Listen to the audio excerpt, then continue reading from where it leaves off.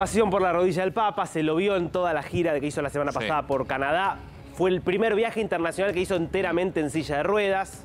Hay un tema que es que los médicos dicen que hay que operarlo, pero él dice que hay un tema con la anestesia. Ella bueno, está grande, ¿no? está grande, 85 años, 9 años de papado, y es un papa además muy activo, eso hay que reconocérselo, que le gusta viajar mucho, y claro, el tema de la rodilla. Fíjate, hace poquito tiempo, refiriéndose también a la lesión que tiene, la, la artrosis que tiene en la rodilla, es como que hace poco tiempo se había desmentido completamente el tema renuncia. En este último viaje o después de este último viaje, ya fue distinto lo que dijo sobre el tema renuncia. A ver, estaba volviendo en el. Viste que él siempre hace conferencias de prensa Sí. en el avión, en general Mm. cuando vuelve o cuando va de un viaje. Estaba el viernes volviendo desde Canadá y efectivamente los periodistas, fueron 45 minutos de conversación, los periodistas le preguntan. Y Francisco está evaluando de renunciar y él lo que dijo es: primero, no sería una catástrofe, Sí, claro. perfectamente un papa se puede ir y eso no pasa nada. Pero dijo: Yo todavía no llamé a esa puerta. Estoy a disposición de lo que diga el señor, no lo descarto. Pero le bajó, le bajó el precio.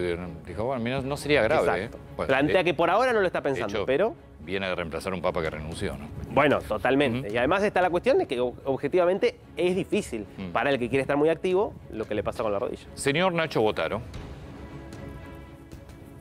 Sí, Antonio, bueno, a propósito de la salud del Papa Francisco, Mm. también no hay que olvidar que el Papa Francisco asume una función ejecutiva. Él también es, eh, podríamos tomarlo así, un presidente de su propio país, que es el, el Vaticano, y tiene, Sí. bueno, muchas actividades que requieren poner el cuerpo y un esfuerzo físico muy importante. De hecho, lo hemos visto en las distintas misas que llevó a cabo la semana pasada, previo al viaje en Canadá, que en varios de los tramos no hizo toda la ceremonia de pie, sino que estuvo Mm. en silla de ruedas y estuvo ahorrando esfuerzos. Bueno, estoy con el doctor traumatólogo Francisco Aragón. Francisco, ¿cómo estás?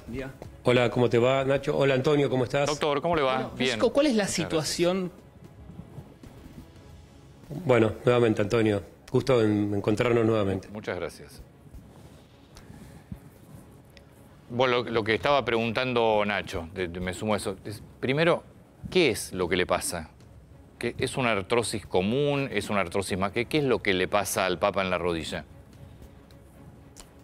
Bueno, lo que padece el Papa ahora es una enfermedad degenerativa de su articulación que, que no tiene que ver con su condición especial, digamos, la función que él cumple, sino que es muy frecuente encontrar esta, esta lesión en las personas mayores de 80 años, que es la artrosis de la rodilla.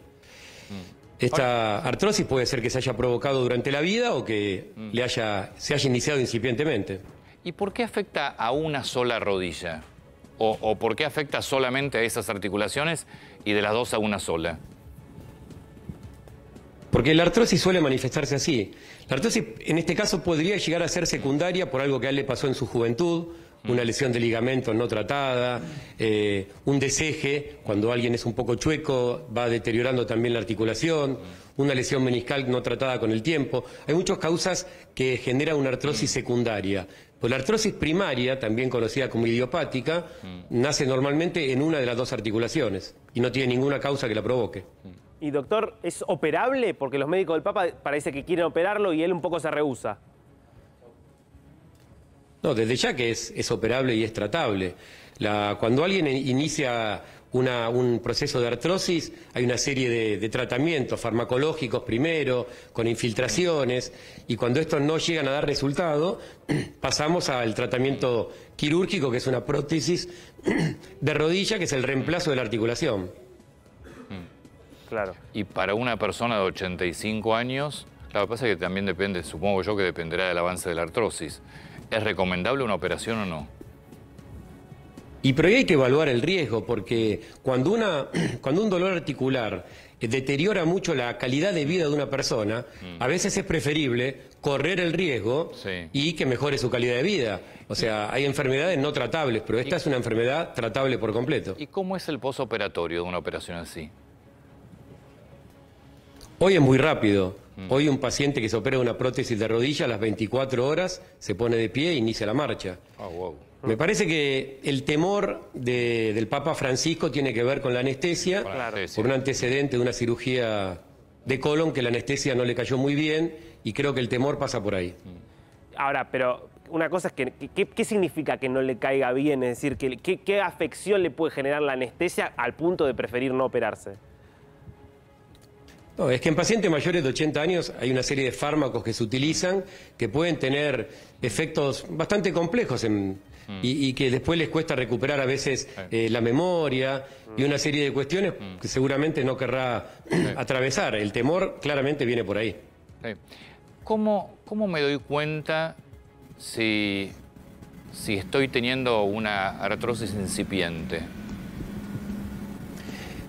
El dolor, Antonio, siempre hay un síntoma, siempre hay un síntoma. Cuando se inicia el dolor en la rodilla, Sí. la consulta, la radiografía, a veces se piden tan apurados resonancias y la radiografía muestra exactamente cómo está la articulación. Y después a partir de ahí los tratamientos según la, la lesión. Eso ayuda a prevenir un deterioro de las articulaciones después de los 70 o de los 80 años. ¿Y, y dónde, dónde se da con mayor frecuencia la artrosis? ¿Rodilla, cadera, no sé, mano, codo? ¿En qué articulaciones? ¿La, la- la rodilla por el peso? Las dos, la cadera y la rodilla, porque son las que, las que cargan el peso corporal, ¿no? Así que con bastante frecuencia en ambas y hoy las prótesis, antes las prótesis de cadera tenían mayor seguridad y las prótesis de rodilla tienen la misma seguridad que las prótesis de cadera y la verdad mejoran significativamente la calidad de vida de las personas. Y doctor, una persona de 30 años, digamos, que no, no tiene ningún indicio de, de artrosis, ¿qué puede hacer para evitar o reducir el riesgo de sufrirla en el, en el futuro? Bueno, hoy las lesiones se ven cada vez con más frecuencia en personas más jóvenes. Las lesiones ligamentarias que veíamos después de los 20 o las vemos después de los 12 años. Quizá por la, la- la energía o las características con las cuales se, se- se- se transita la competencia. Pero una persona de, de 30 años que hace una actividad física normal y, y un deporte normal, mientras tenga un entrenamiento claro, evitar la sobrecarga, evitar la sobrecarga de impactos y consultar siempre al traumatólogo. Activaciones también. Bueno, las infiltraciones, hay dos tipos de infiltraciones. Hay infiltraciones con corticoides para disminuir el dolor que terminan siendo muy nocivas para la articulación y otras infiltraciones, ácido hialurónico, plasma, que alguna vez Antonio hemos conversado, Sí. que esas mejoran la calidad de vida articular y esas no están contraindicadas. Antonio, ¿sabes que antes de la nota hablábamos con el doctor D'Angelo sobre la situación que yo, por ejemplo, Diego Maradona, que tuvo una cirugía de rodilla un año antes de su muerte, una situación bastante parecida a la que está viendo ahora el Papa Francisco? Bueno, sí, como decíamos, con todas las diferencias que existen en el caso, Sí. tuvo una artrosis de rodilla, producida también por la, la máxima exigencia que tuvo Diego Maradona en toda su vida deportiva, y terminó con una prótesis de rodilla que se operó un año antes de morir. Así que, sí, exacto. Doctor, muchas gracias, es muy atento.